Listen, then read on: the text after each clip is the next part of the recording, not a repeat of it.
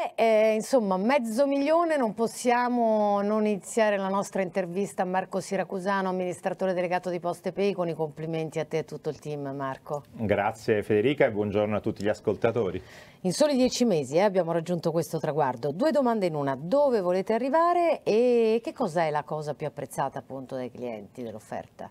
Allora, eh, prima però consentimi di ringraziare eh, il lavoro che hanno fatto i colleghi in rete di mercato privati, perché il, il, successo, diciamo, è la buona partenza, perché siamo solo agli inizi dell'offerta di Posta Energia e chiaramente figlia di un lavoro di squadra, di Poste Pay, di tutte le altre funzioni di Poste Italiane, ma soprattutto anche dei colleghi di mercato privati che hanno utilizzato l'offerta di Posta Energia come ulteriore elemento di relazione eh, che capitalizza sulla trasparenza, la forza dei valori di Poste Italiane, ma soprattutto sulla possibilità che noi si possa offrire eh, diciamo, un punto di contatto sui bisogni quotidiani della famiglia e questo i colleghi di mercato privati tutti i giorni sono cresciuti in questa attività. Quindi la cosa importante, 500.000 contratti sono anche il, mm, dire, il, risultato di un lavoro fatto giorno per giorno con tutti i clienti di Poste Italiane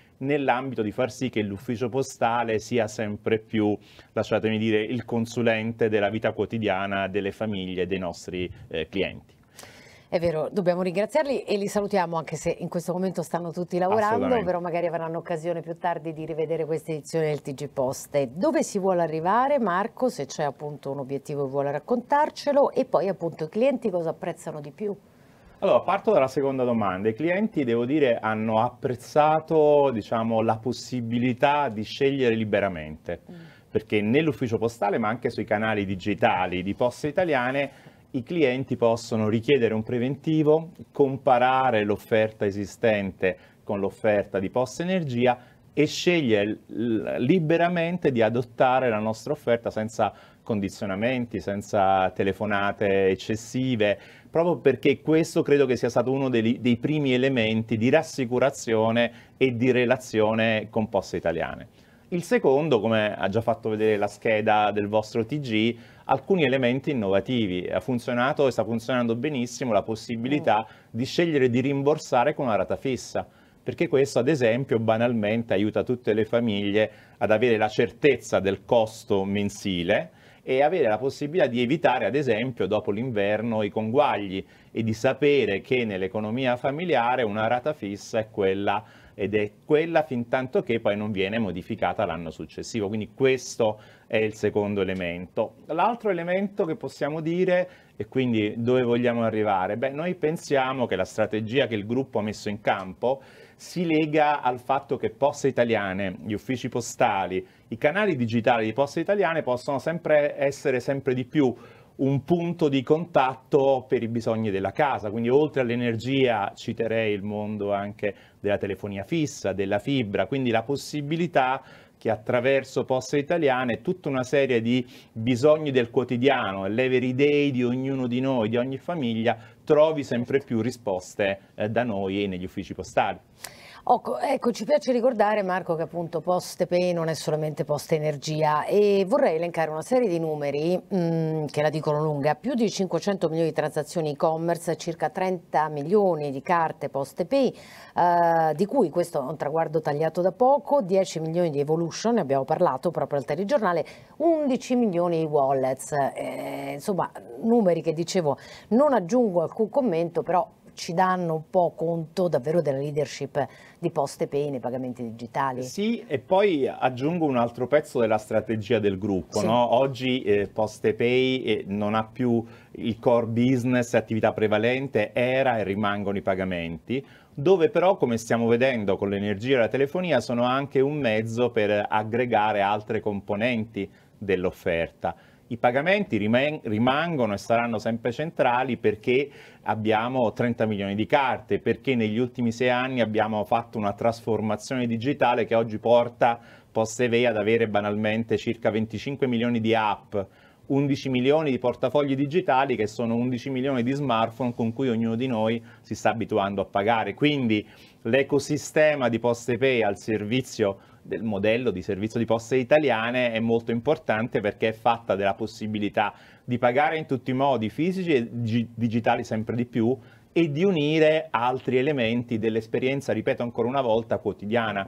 Eh, giusto per dare una battuta, ognuno di noi si sveglia alle 8 e fino alla sera può utilizzare nel suo quotidiano i pagamenti per, della mobilità, la sera può utilizzare i pagamenti dell'e-commerce, eh, ha tutte le sue connessioni di telefonia fissa e mobile, ha i contratti che abbiamo visto di luce e gas e quindi è un mondo che oggi noi stiamo sempre più facendo convergere su tutti i bisogni della giornata che tanti milioni di clienti di poste italiane hanno adottato, perché bisogna anche ricordare che ci sono eh, una serie di clienti che stanno entrando nell'universo sì. di poste italiane attraverso i pagamenti di Poste Pay, attraverso la telefonia eh, con Poste Mobile e Poste Energia. Quindi questo è il percorso di essere davvero di servizio a tutte le comunità e a tutti i territori dove l'ufficio postale è presente, ma dove anche il grande successo dei canali digitali di poste è quello che consente a circa 22 milioni di contatti, di interazioni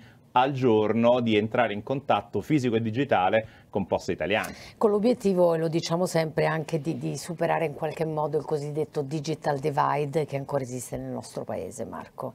Ma sì, io credo questo è importante perché i, i, i numeri che PostePay come ecosistema sta mettendo a disposizione di poste italiane sono anche figlio di quel percorso che dicevi tu. Noi abbiamo compiuto con Poste Italiane due, due fenomeni nel mondo nuovo dell'innovazione. Prima l'alfabetizzazione, lasciatemi dire, ai pagamenti, ai pagamenti con carte e poi un vero e proprio processo di inclusione digitale che ha riguardato decine mm. di milioni di clienti e guardate anche con il contributo non solo delle, delle, delle piattaforme digitali, ma anche nell'interazione di tutti i giorni tanti nostri colleghi degli uffici postali oggi hanno fatto un lavoro di supporto e di inclusione per le persone diciamo, meno abituate a usare gli strumenti digitali che grazie a noi oggi viceversa certo. possono scegliere tutti i giorni se usare l'ufficio postale o i nostri canali digitali. Come dici tu, un grande lavoro di squadra, questo è indubbio.